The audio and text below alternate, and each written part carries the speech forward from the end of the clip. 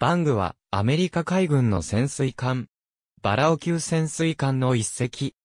艦名は、ノースカロライナ州北方の大西洋に生息する、ニシンカサッパ族の食用魚、ラウンドサーディネラの通称にちなんで命名された。ラウンドサーディネラバングは1943年4月30日に、メイン州キタリーのポーツマス海軍造船所で寄港した。1943年8月30日に、ロバート W. ネブレット夫人によって、命名、進水し、1943年12月4日に、艦長アントン・ R・ ギャラハー少佐の指揮下就役する。ニューイングランド沖での4週間に及ぶ、整調訓練後、バングは2月8日に、コネチカット州、ニューロンドンを出港し太平洋に向かった。パナマ運河を通過後、真珠湾に向かったバングは、水雷訓練、回避行動訓練、模擬戦を行う。3月末に食料などを補給し、戦闘準備は完了した。3月29日、バングは、最初の紹介で、パーチーティの里、ウルフパックを構成し、ルソン海峡方面に向かった。ミッドウェー島で、補給の後、3隻は4月16日に、台湾南方の航路帯に到着した。4月29日、バングは80キロ先に、ダマ17戦弾を探知し、ウルフパックでこの戦弾に向かっていった。22時頃、バングは、竹川丸の右舷に魚雷を命中させ撃沈。翌30日の夜明けには、日達丸を撃沈した。5月3日朝、ティノサが7隻の輸送船団、ニレ林から九州に向かうテレヨン船団を発見、報告を行い、バングとパーチーはこれを迎え撃つため、ティノサと共に、全速力で北方へ向かった。翌5月4日、ティノサが、訪日丸を撃沈したのを手始めにバング、パーチーも船団に対して、来撃を行い、バングは浮上したまま西方に逃げてきた船団を迎え撃って、1時7分に、北緯20度50分統計117度55分、北緯20.833度統計117.917度、20.833-117.917の地点で、金霊丸を撃沈した。駆逐艦の破壊も主張したが、これは認められなかった。他に、ティノサが、訪日丸と、大竹丸を、パーチーが、太翼丸と、マサタツ丸をそれぞれ撃沈し、その総トン数は3542トンで、ニレハヤシ丸を逃した以外は干渉だった。バングは、この攻撃で魚雷を使い果たしたため5月6日に、哨戒海域を去った。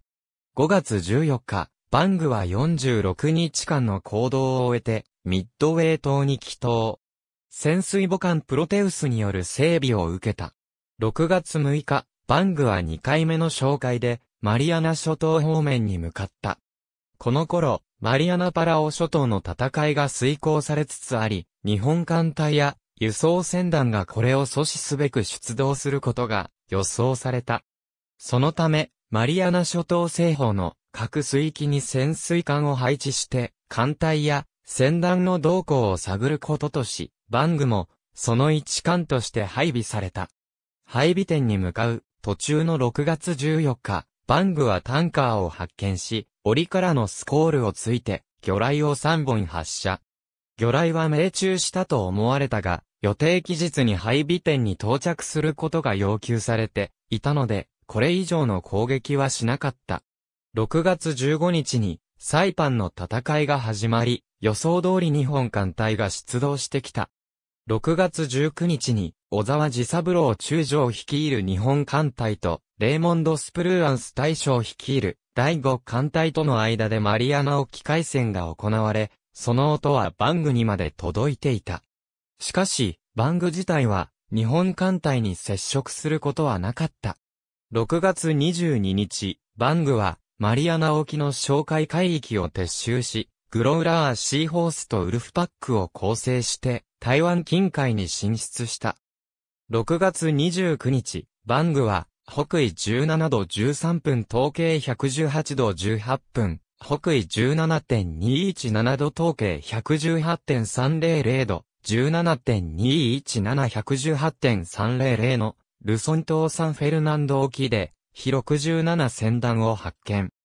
15時17分に戦弾に向けて、魚雷を5本発射し、タンカーミリー丸とサラワク丸に、それぞれ1本ずつ命中。ミリー丸は選手を深く沈め、サラワク丸も選手を破壊されたものの、共に沈没は免れた。攻撃後、バングは125発もの爆雷を投下されたものの、被害はなく、浮上した時には、戦弾の姿は消えていた。7月4日には、1隻の貨物船と4隻の護衛艦でなる香港行きの小さな輸送船団を発見。しかし、バイングが攻撃位置につく前に護衛艦が反撃。バングは魚雷を3本発射したものの命中せず、爆雷攻撃を避けるべく深く先行したため、次の攻撃をかけることができなかった。7月17日、バングは58日間の行動を終えて、真珠湾に帰島した。8月27日、バングは3回目の紹介で、東、シナ海に向かった。8月31日に、ミッドウェー島で給油、紹介海域に向かい途中の9月9日、北緯28度58分統計137度45分、北緯28.967度統計137.750度、28.967-137.750の小笠原諸島海域を航行中のバングは3905船団を発見。先行して接近し、15時20分頃に、時は山丸と、正高丸を撃沈した。護衛の解剖官は、バングの潜望鏡を発見し、爆雷攻撃を行った。180メートルの深度にまで先行したバングの頭上で16発の爆雷が爆発したが消波にとどまり、それ以上の被害はなかった。バングは修理の上紹介を続行し、9月19日には、キールン沖で別の輸送船団をレーダーで探知。先行して、タンカー第2東西丸を撃沈し、第30号解剖艦を撃破した。3隻の護衛艦が反撃し、バングは反撃の間は息を潜め、日没後に浮上した。9月20日午後、バングは、投降の輸送船団を発見し、暗くなってから浮上。水上攻撃で、合計10本の魚雷を発射し、大型タンカーと中型貨物船の撃沈を報じた。9月29日、バングは32日間の行動を終えて、ミッドウェー島に帰島した。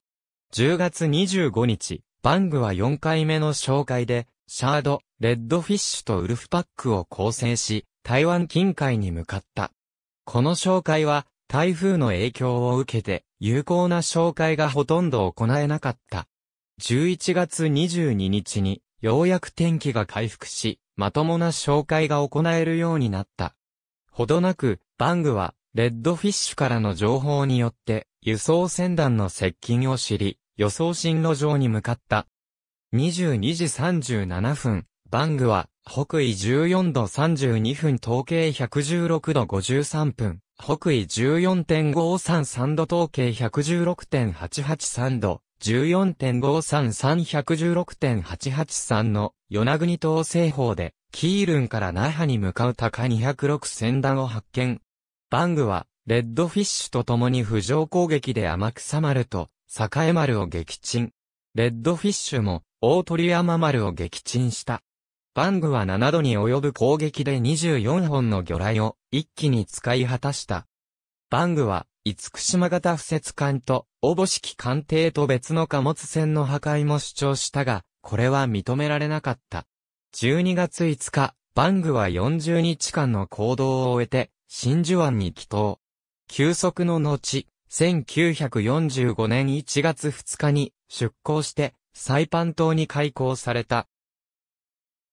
1月15日、バングは5回目の紹介で、スペードフィッシュアトゥルポンポンと共にウルフパックを構成し東シナ海、航海方面に向かった。しかし、この紹介では悪天候と目標不足に悩まされ、2月19日に紹介期間を終えるまで攻撃機会はなかった。2月24日、バングは50日間の行動を終えて、グアムアプラ港に帰島。プロテウスによる整備を受けた。艦長がオリバー W. バグバイに変わった。3月25日、バングは6回目の紹介で、スヌーク、バーフィッシュとウルフパックを構成し、南西諸島方面に向かった。しかし、出撃直後に、スヌークに故障が発生して離脱した。10日間の紹介の後、バングは、台湾近海にて、沖縄戦に参加する、航空機に対する救助配置任務を命じられた。近隣の先島諸島海域では、スヌークにもその任務が与えられていた。しかし、スヌークは4月8日以降音信を絶っていた。4月21日、スヌークの担当海域に、イギリス軍空母の関西機が被弾して着水したが、スヌークが出現しなかったことを通報したので、司令部はバングに、スヌークの担当海域に向かう、よう命令。バングはその海域に到着して、パイロットを救助し、次に、スヌークとの会合を試みたが、ついに姿を見せなかった。5月3日に、バングは、ハワイへの帰還命令を受け取り、その途中に、サイパン島で燃料を補給した。5月18日、バングは55日間の行動を終えて、真珠湾に帰島。10日間の休養及び、船体の検査後に追加指令が行われ、バングは、ポーツマス海軍造船所でのオーバーホールのため帰国の、とにつく。サンフランシスコ海軍造船所で停泊後パナマ運河を通過し、6月22日に、ポーツマスに到着した。バングが、オーバーホール作業中に戦争は終了した。バングは、オーバーホール作業が完了すると、間もなく、ニューロンドン沖での活動を始めた。バングは1947年2月12日に退役し、大西洋予備役艦隊入りした。1951年2月1日、バングはニューロンドン潜水艦基地において、艦長ユージン A. ヘムリー少佐の指揮下再就役した。しかしながら、大西洋艦隊では15ヶ月のみの現役活動を過ごした後、1952年5月15日に退役し近代化改修が行われることとなった。ポーツマス海軍造船所での作業の後、バングは、グッピー・イーヤー潜水艦の中の最初の艦として、1952年10月4日に、艦長ペリー・ホール少佐の指揮下再就役した。バングの外観には、大きな変更はなかったが、内部の機材は改良され、火器及び、電子機材は、新型のものが装備された。船体は流線型化され、推進機の改良により速度は向上した。大西洋及び地中海での艦隊活動を2年間行った。後、バングは1954年8月に定期オーバーホールのため、フィラデルフィア海軍造船所に入居した。作業は12月に完了し、バングは新型機材を搭載した上艦隊に復帰した。